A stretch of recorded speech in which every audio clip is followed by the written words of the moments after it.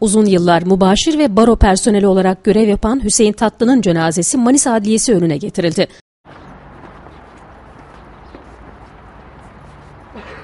Ailesi ve yakınlarının katıldığı adliye önündeki törende konuşan Baro Başkanı Ali Arslan, çalışma arkadaşları Hüseyin Tatlı'yı çok özleyeceklerini ifade etti.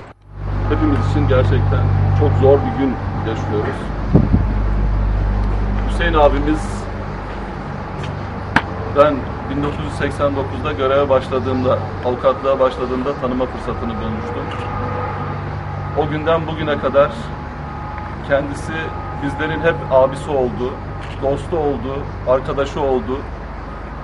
Bir gün avukatlara karşı ya da adliyede iş yapmaya gelen vatandaşlara karşı yüzünün asıldığını, onlara bugün git yarın gel dediğini görmedik.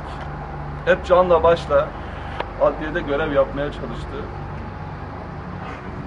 Ben tanıdığım süre içerisinde kendisinden hep güzel şeyler öğrendim. Cumhuriyet Başsavcısı Akif Celalettin Şimşek de Hüseyin Tatlı'nın son yolculuğuna uğurlandığı cenaze töreninde yaptığı konuşmada başsağlığı diledi. Ee, Sayın eski baro başkanımızın dediği gibi amansız bir hastalık nedeniyle çok genç yaşta kaybetmek ve zamansız kaybetmek bizleri de üzdü. Tekrar Allah rahmet eylesin diliyorum.